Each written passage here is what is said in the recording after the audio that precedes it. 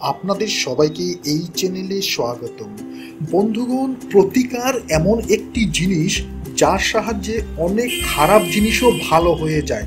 তো বন্ধুগণ, আজকে আমি আপনাদেরকে বলব চাকরি সংক্রান্ত এবং ব্যবসায় সংক্রান্ত কিছু প্রতিকার। তো বন্ধুগণ, তার আগে বলছি, যারা আজকে এই চ্যানেলে নতুন রয়েছেন, আপনারা অতি শীঘ্রই চ্যানেলটিকে সাবস্ক্রাইব করুন, পাশে দেওয়া বেল বটনে অবশ্যই ক্লিক করুন। নতুন নতুন ভিডিওর নোটিফিকেশন সর্বপ্রথমে পাওয়ার জন্য।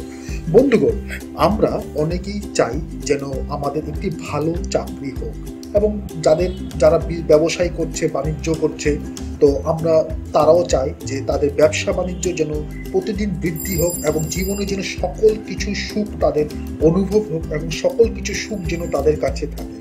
তো অনেক সময় কি হয়, আমাদের মধ্যে আমরা লেখাপড়া জানি বা আমাদের মধ্যে তেমন ধরনের অনেক কোয়ালিটি রয়েছে, তা ক্ষেত্রেও আমরা কি করি, সেই ধরনের চাকরি পাই না।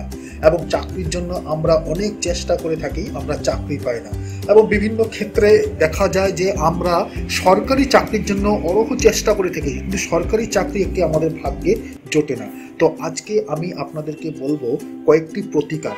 তো বন্ধুগণ, এই প্রতিকারগুলি আপনারা অবশ্যই মেনে চলুন, প্রতিকারগুলি করুন। আপনাদের যা সমস্যা, চাকরি সংক্রান্ত বা ব্যবসা সংক্রান্ত যা সমস্যা, সেই সমস্যা আপনাদের দূর হয়ে যাবে। কিন্তু এই প্রতিকারগুলি আপনাদের মনে বিশ্বাস নিয়ে, ভক্তি সহকারে মনে বিশ্বাস নিয়ে আপনাদের করতে হবে। কারণ কি বিশ্বাস নিয়ে করলেই সেই প্রতিকারের ফল আপনারা অবশ্যই পাবেন। বন্ধুগণ, অনেক সময় কি হয়, একটি আমি আপনাদেরকে একটি সামান্য একটু উদাহরণ দিচ্ছি। যেমন আজকে অনেক সময় আমাদের যে কোনো ধরনের আমাদের অসুখ হয়ে থাকে বা আমার যে কোনো ধরনের ডিজিজ আমাদের হয়ে থাকে। তো সেই ক্ষেত্রে কি হয়, আমরা অনেক সময় ডাক্তারের কাছে যাই, আমরা চিকিৎসকের কাছে যাই, তো চিকিৎসক আমাদেরকে বিভিন্ন ধরনের পরামর্শ দিয়ে থাকে। তো আমাদের অসুখ তখনই সারবে যখন আমরা সেই পরামর্শগুলি মেনে চলব। যদি পরামর্শগুলি মেনে চলি, তবেই আমাদের সেই অসুখ ছাড়বে এবং অসুখগুলি আমাদের বিলুপ্ত হবে। কিন্তু যদি আমরা সেই চিকিৎসকের বা সেই ডাক্তারের যদি আমরা পরামর্শ যদি মেনে না চলি, তবে আমাদের অসুখ অসুখেই রয়ে যাবে। সে বরং প্রতিদিন বাড়বে সেই ওষুধ। তো তেমনই হচ্ছে কি প্রতিকার। তো প্রতিকার জীবনে অনেক ধরনের প্রতিকার রয়েছে। এই প্রতিকারগুলি আমাদের শাস্ত্রে, আমাদের বিভিন্ন গ্রন্থে, আমাদের বিভিন্ন পুরাণে এগুলি লেখা রয়েছে। তবে এই প্রতিকারগুলি আপনাদেরকে মানতে হবে, তবেই আপনারা ফল পাবেন। এবং এই প্রতিকারগুলি মেনে আজ অবধি অনেকেই ফল পেয়েছে এই প্রতিকারগুলি। তো আমি কয়েকটি প্রতিকারের কথা বলব। তার মধ্যে আপনারা যদি দুইটি প্রতিকারে যদি মেনে চলেন, তবে আপনাদের অবশ্যই লাভ হবে এবং আপনার লাভালাভ হবেন এবং কিছু দিনের ভিতর, কিছু সপ্তাহ নয়, কিছু দিনের ভিতর আপনারা অবশ্যই তার ফল দেখতে পাবেন নিজের চোখে। এবং এমনও কিছু প্রতিকার করব যে প্রতিকার হতে আপনার দ্বারা সম্ভব না, আপনি করতে পারছেন না, আপনার দ্বারা কিছু অসুবিধা রয়েছে, তাই আপনি সেই প্রতিকারগুলি আপনি নিজে না করে বাড়ির কেউ রয়েছে, বাড়ির বোন রয়েছে, মা রয়েছে, বাবা রয়েছে, দিদি রয়েছে বৌদি রয়েছে, যে কেউ রয়েছে আপনার শুভচিন্তক বাড়ির, তাদেরকে দিন এই এই প্রতিকারগুলি অবশ্যই করান। তবে সেই ফল আপনার কাছেই জুটবে এবং সেই ফল আপনিই পাবেন। বন্ধু, প্রথম প্রতিকারটি বলব, আপনি যখনই কোনো চাকরি সংক্রান্ত আপনি কোনোখানে ইন্টারভিউ দিতে যাচ্ছেন, আপনি কোনো ইন্টারভিউতে যাচ্ছেন ইন্টারভিউতে আপনি বসবেন এবং এর আগে হয়তো এমনও হয়েছে যে আপনি অনেক ইন্টারভিউ দিয়েছেন, কিন্তু ইন্টারভিউ তেমন রেজাল্ট আপনার পক্ষে হয়নি।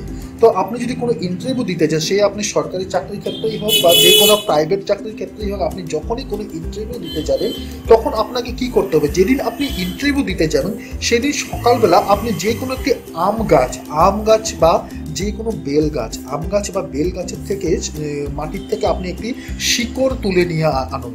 সামান্য ছোট একটু শিকড় তুলে নিয়ে আনুন এবং সেই শিকড়টি আপনি একটি ভালো লাল সুতোতে বেঁধে নিন, সেই শিকড়টি। আম গাছের শিকড়টি বা বেল গাছের শিকড়টি, যে দুটি গাছের মধ্যে যে কোনো গাছের শিকড় আপনি নিয়ে আসুন এবং সেই শিকড়টি আপনি একটি লাল সুতোতে আপনি বেঁধে নিন সুন্দর করে। এরপর কি করবেন? আপনি যখনই আপনি ইন্টারভিউ দিতে যাবেন, আপনি যে কোনোখানে যখনই ইন্টারভিউ দিতে যাবেন এবং মনে মনে ভক্তি সহকারে আপনি সেই লাল সুতোয় বাঁধা শিকড়টি আপনি আপনার ডান পকেটে রেখে দিন। ডান পকেটে রেখে দিন, সেই লাল সুতো দিয়ে বাঁধা শিকড়টিকে আপনি আপনার ডান পকেটে রেখে দিন। এরপর দেখুন আপনার ফলাফল। আপনি যেখানে চাকরি দিতে যাচ্ছেন বা চাকরির জন্য ইন্টারভিউ দিতে যাচ্ছেন, সেখানে আপনি অবশ্যই সফল হয়ে আসবেন এবং আপনার ইন্টারভিউ পূর্বের তুলনায় অনেকখানি ভালো হয়ে যাবে।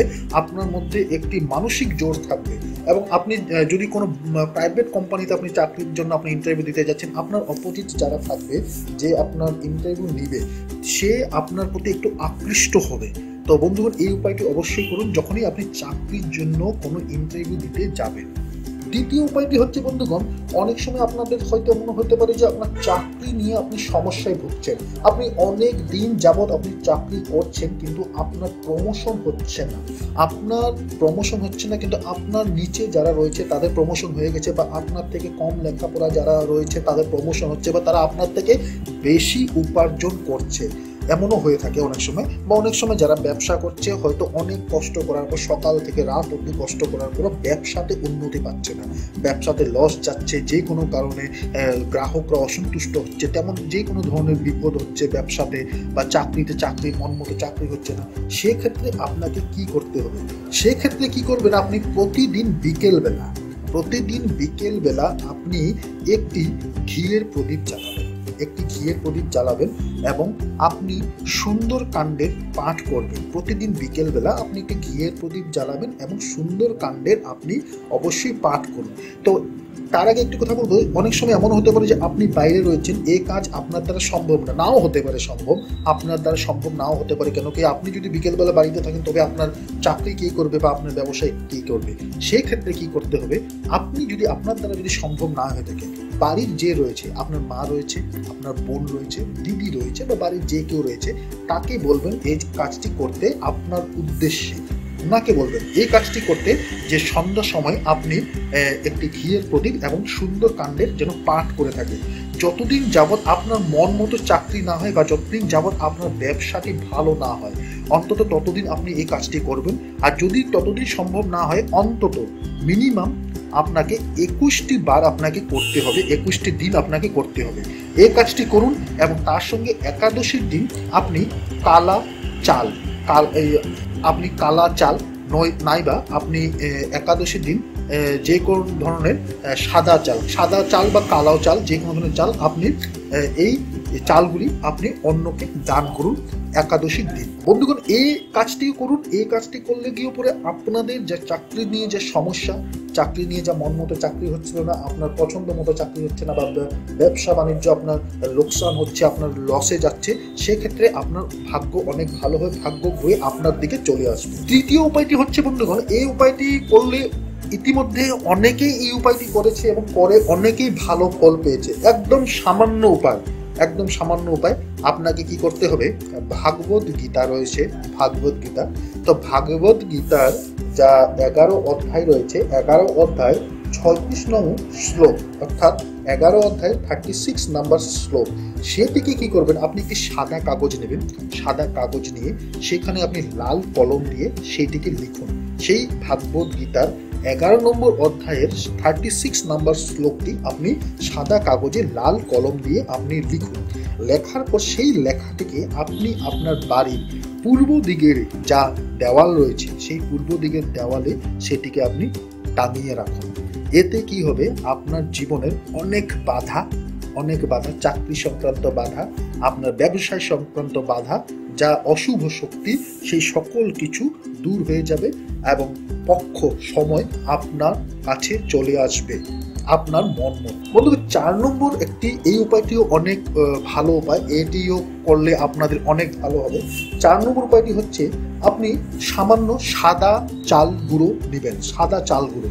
এবং কিছুটি আপনি হলদি গুঁড়ো নেবেন, হলদি গুঁড়ো, চাল গুঁড়ো এবং শুদ্ধ গঙ্গার জল। আপনি দেখে নেবেন বাজারে অনেক সময় গঙ্গা জল পাওয়া যায়, সেগুলি হয়তো ডুপ্লিকেটও হতে পারে। তাই আপনি ভালোভাবে বেছে, আপনি ভালো জল, শুদ্ধ জলটি নেবেন, যা অরিজিনাল গঙ্গা জল নেবেন এবং সাদা চালের গুঁড়ো নেবেন, সাদা হলদি গুঁড়ো নেবেন। সেইগুলিকে নিয়ে আপনি একসঙ্গে মিশ্রিত করে আপনি একটি মিশ্রণ তৈরি করুন এবং যে মিশ্রণটি আপনি তৈরি করবেন, আপনি সেই জল দিয়ে, গঙ্গা জল দিয়ে, হলদি গুঁড়ো দিয়ে এবং চালের গুঁড়ো দিয়ে, সেই মিশ্রণটি নিয়ে আপনি আপনার বাইরে আপনার যা বাড়ি রয়েছে, বাড়ির বাইরে, যা মুখ্য দুয়ারের বাইরের দিকে, অর্থাৎ ভিতর দিকে না, আপনি বাইরের দিক থেকে আপনি সেখানে মুখ্য দুয়ারের উপরে ওম এবং স্বস্তিক চিহ্ন আপনি সেখানে অঙ্কন করুন।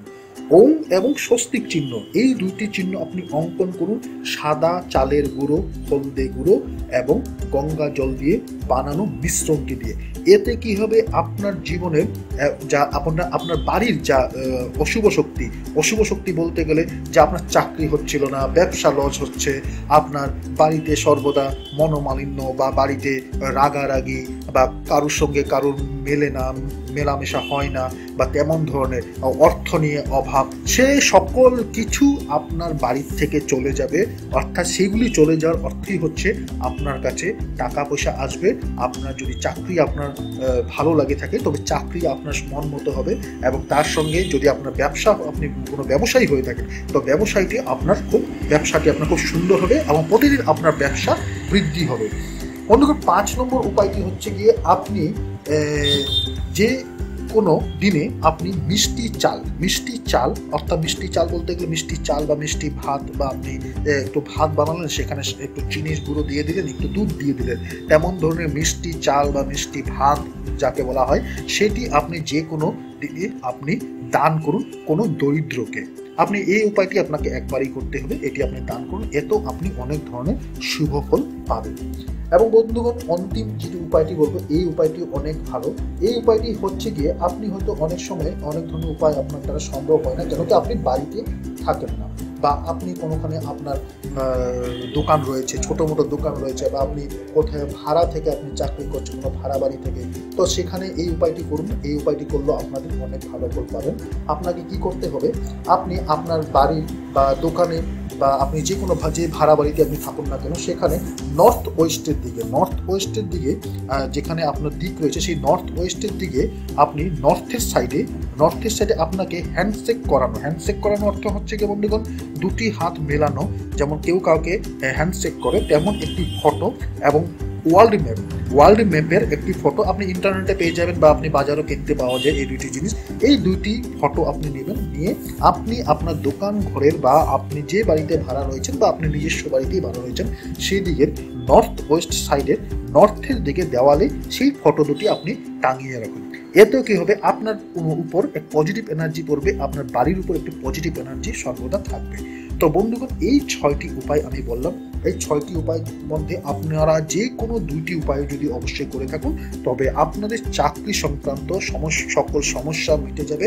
আপনার মন মতো চাকরি হবে, সরকারি চাকরি হবে, এবং যদি আপনি ব্যবসায়ী হয়ে থাকেন, আপনার ব্যবসা প্রতিদিন বৃদ্ধি পাবে।